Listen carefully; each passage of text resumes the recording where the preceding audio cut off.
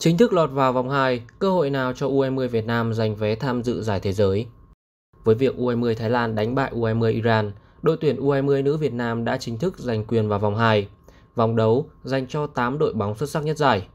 Ở vòng 2 của bảng C, U20 Việt Nam và U20 Thái Lan sẽ ghép với hai đội đứng đầu bảng A để tạo thành bảng đấu mới là bảng E. U20 Trung Quốc và U20 Kazakhstan sẽ là hai đối thủ tiếp theo ở vòng 2 của U20 Việt Nam.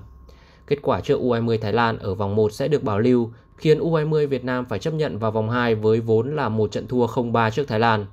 Các cô gái trẻ sẽ thi đấu thêm hai trận đấu ở vòng 2. Hai đội đứng đầu bảng E sẽ có vé vào vòng bán kết. Với sự góp mặt của chủ nhà Trung Quốc tại bảng đấu này, cơ hội để đội tuyển Việt Nam vào vòng bán kết là rất khó khăn khi đội chủ nhà đang thể hiện sức mạnh đáng sợ ở giải năm nay với dàn vận động viên khủng cả về thể hình lẫn chuyên môn.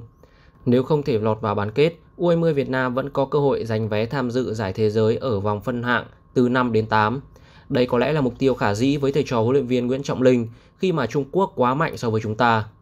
Những đối thủ có thể cạnh tranh với U20 Việt Nam ở vòng phân loại 5 đến 8 sẽ là Kazakhstan, Đài Bắc Trung Hoa, Hồng Kông Trung Quốc. Những đội bóng này được đánh giá là vừa sức với các cô gái trẻ U20 nữ Việt Nam. Nếu chơi gắn kết, tập trung và quyết tâm cao độ, việc có được vị trí thứ 5 là hoàn toàn có thể xảy ra với thầy trò huấn luyện viên Nguyễn Trọng Linh. Nếu có thể đứng trong top 5, đội tuyển U20 Việt đội tuyển U20 nữ Việt Nam sẽ làm nên lịch sử khi lần đầu tiên giành quyền tham dự giải U21 thế giới diễn ra vào năm sau. Cơ hội đến với đội tuyển U20 nữ Việt Nam là bởi thay đổi của Liên đoàn bóng truyền thế giới FIVB về thể thức của giải U21 nữ vô địch thế giới 2025. Theo đó, quy mô của giải đấu trẻ sẽ được mở rộng với 24 đội tham dự thay vì 16 đội như các năm trước. Chính vì thế, số suất dành cho châu Á cũng tăng thêm từ 2 lên 4 đội. Một tin vui nữa là Trung Quốc đang là nhà đương kim vô địch của giải U21 nữ vô địch thế giới. Đội bóng này dĩ nhiên sẽ có vé đi trực tiếp, tăng thêm cơ hội cho các đội bóng châu Á khác dự giải thế giới. Gần như chắc chắn Trung Quốc sẽ nằm trong top 4 đội mạnh nhất của giải U20 châu Á tới đây. Vì vậy, nếu đội nữ Việt Nam lọt vào top 5 đội mạnh nhất giải đấu này, chúng ta sẽ có tấm vé dự giải U20 nữ vô địch thế giới.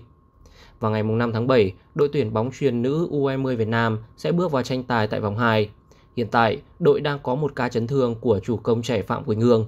Chưa rõ Quỳnh Hương có thể trở lại ở những trận đấu tới hay không sau khi cô phải rời sân ở trận đấu với Iran. Hy vọng toàn đội sẽ chơi tự tin, thể hiện được hết khả năng của mình ở những trận đấu then chốt sắp tới của giải.